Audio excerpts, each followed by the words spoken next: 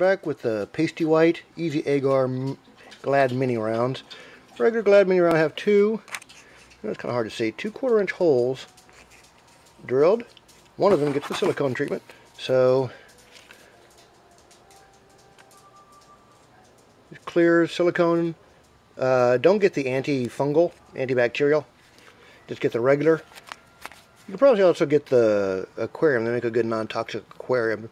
Silicone's just expensive. So, smear around the top there. When it nice and thick, you don't want the big pompadour looking thing there, so smooth that down.